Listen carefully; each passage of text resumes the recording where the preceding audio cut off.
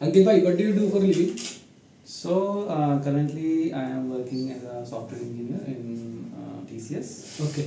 तो आपकी first salary और फ़र्स्ट कंपनी कौन सी थी सो So मेरी फ़र्स्ट कंपनी जो थी वो सेट फाइन प्रोडक्ट थी और वहाँ पे मेरी करंट वहाँ पे मेरी सैलरी जो थी वो अराउंड सेवन थाउज़ेंड थी per month per month UI developer या कुछ और नहीं नहीं as a P H P developer okay तो फिर अभी आपको कितने साल का एक्सपीरियंस हो चुका है? एज ऑफ़ टुडे आप मुझे नाइन पॉइंट फाइव ईयर्स का एक्सपीरियंस तो अभी जो आप करंट कंपनी में काम कर रहे हो टीसीएस में अ, ये आपकी कौन से नंबर की कंपनी है? आपने किस फ्रिक्वेंसी पे स्विच मारा है? मेजरली मीन्स दो साल के एक्सपीरियंस दो साल के ड्यूरेशन में मैंने स्विच किया है और ये मेरी अराउंड फिफ्थ कंपनी तो आपको कहीं कहीं पे समझ ऐसा फील होता है कि यार मुझे इस कंपनी में ज़्यादा देर रुक जाना चाहिए था या फिर मैंने मुझे जल्दी जल्दी स्विच मारने चाहिए थे सैलरी बढ़ाने के लिए? कभी ऐसा फील होता है? हाँ मुझे जो टीसीएस से पहले जिस कंपनी में था माइंट्री सो वहाँ पे मैं एक साल के लिए ही था। हाँ। तो मुझे कहीं ना कहीं फील होता है कि मुझे वहाँ पे एटलीस्ट वन मोर ईयर होना चाहिए था। हाँ।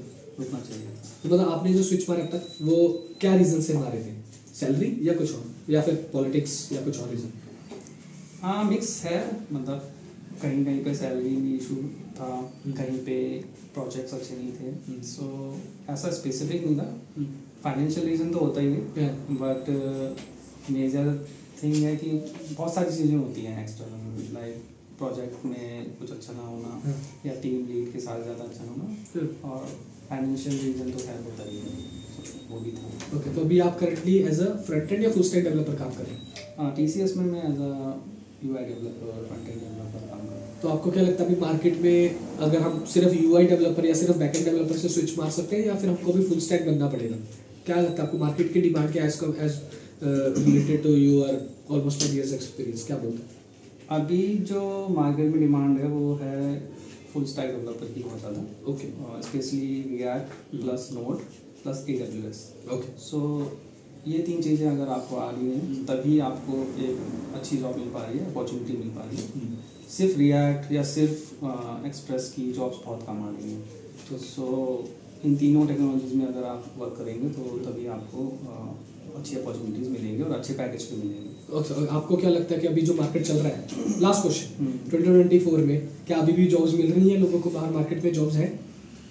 एज अ फ्रेशर अगर मैं बात करूँ तो हाँ। बहुत कम अपॉर्चुनिटीज़ हैं। हाँ। बट एज अ एक्सपीरियंस्ड अगर हम देखें जिनका थ्री प्लस ईयर्स एक्सपीरियंस है सो मार्केट ओपन हो रहा है और अपॉर्चुनिटीज़ अवेलेबल है।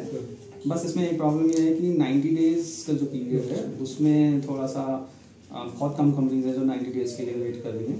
प्रेफरेंस उनको ही मिल रहा है जो 60 या 30 डेज़ के नोटिस पीरियड में तो 90 डेज़ नोटिस पीरियड करने के लिए गाइस मैं आपको बता दूँ, मैंने पूरी प्लेलिस्ट बना रखी है तो वो देख लेना तो आपके 90 डेज़ से नोटिस पीरियड आपका 60 डेज़ 30 डेज़ हो जाएगा। So thank you so much Ankit भाई फॉर शेयरिंग योर